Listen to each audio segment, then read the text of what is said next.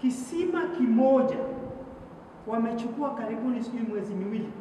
Wana sababu za kitaalamu, lakini sababu zile kwangu mimi ambaye na mimi ni mhandisi sizikubali sana,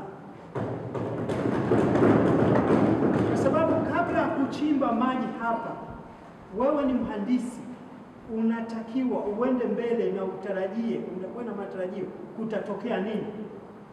Ukianza kuchimba alafu ukuta changamoto pale, na kama kuna njia za kutatua changamoto zile kwa haraka, kidogo inanipa tabu. Kama wataendelea vile, itabidi tuwatafute watu wengine wafanye kazi, na lile gari la kuchimbia maji sitaki liondoke pale la kuchimbia visima mpaka wamalize visima vile.